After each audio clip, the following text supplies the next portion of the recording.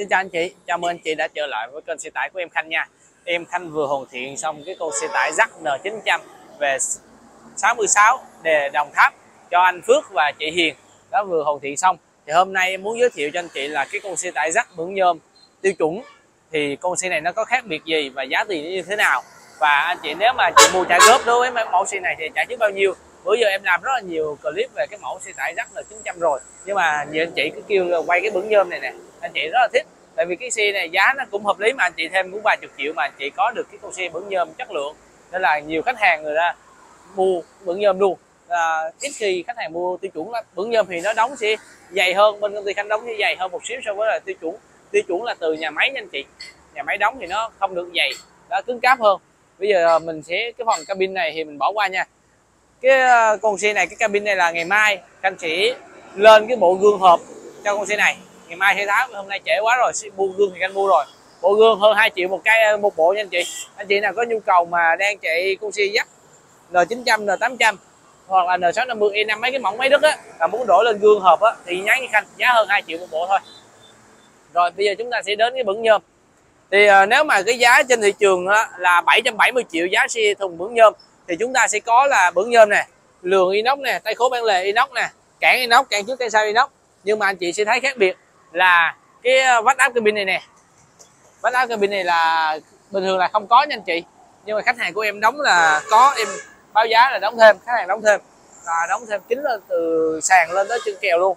Đó, rồi vách trong ờ, thường thường là nếu mà xe thùng tiêu chuẩn anh chị sẽ thấy kia có một vách trong dập lá me tới đây thôi.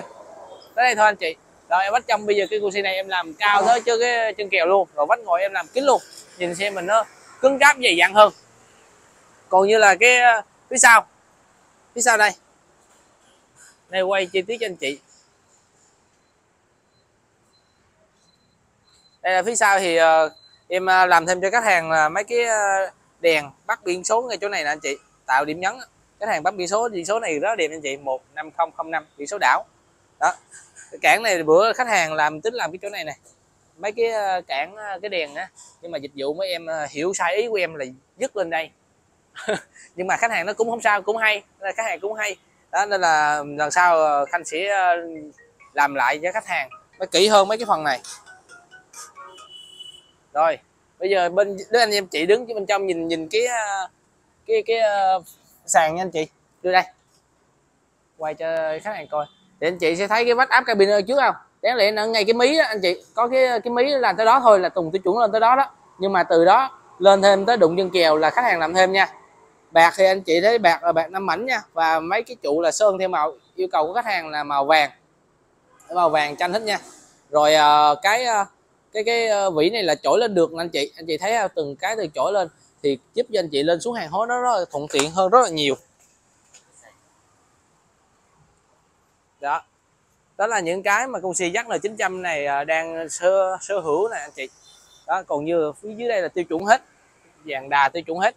Rồi và giá tiền anh chị mua trả góp của con xe này đưa trước cho bên em tầm khoảng hai trăm ba hai trăm tư là anh chị có thể nhận được xe rồi luôn tiền giấy tờ. Và anh chị uh, mua trả góp thì uh, anh chị phải mua thêm cái bảo hiểm hai chiều nha anh chị. Có nhiều anh chị thì không hiểu là có nghĩa là anh chị mua tiền mặt ví dụ như con xe này 770 là mình chỉ biết đưa 770 là mình lấy xe thôi còn như mà anh chị mua trái góp thì ngồi 770 của bên xe ra thì anh chị phải mua bảo hiểm hai chiều của ngân hàng. Đó cái đó là cái bắt buộc phải mua rồi. Đó thì uh, con này là cũng là con dắt A5 anh chị con dắt A5 981 con này nhưng mà phiên bản là phiên bản nhập khẩu. Tải trọng 981 thùng dài 8 m 2 thì ngày mai thì em sẽ uh, chạy cái con xe này lên. Hai con nó bằng nhau.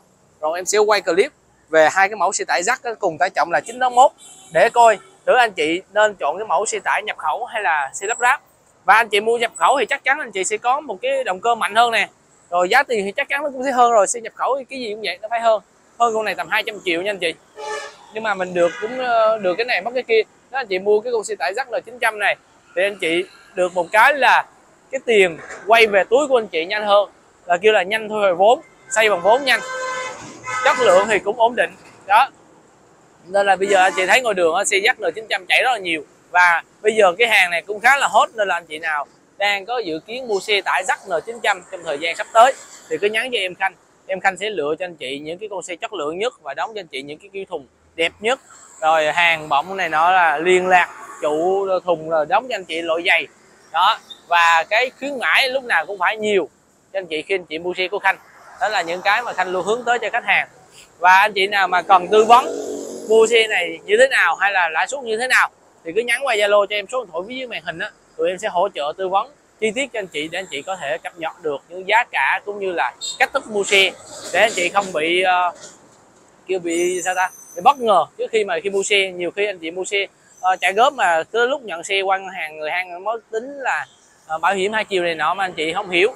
Đó nhưng mà cái đó là em phải tư vấn rõ cho anh chị khi trước khi ký hợp đồng để cho anh chị không bỡ ngỡ rồi cái, con xe dắt là 900 của anh Phước và chị Hiền hôm nay à, quay tới đây thôi. Ngày mai Khanh sẽ lên một clip là hiểu hai cái lỗ tai này. Cót đi cho lên hai lỗ tai mới thẩm mỹ hơn tuốt táp nó đẹp hơn. Anh chị nhớ đón xem clip của hôm sau nha. Cảm ơn mọi người. Nhớ chia sẻ video này giúp khanh nha. Xin chào.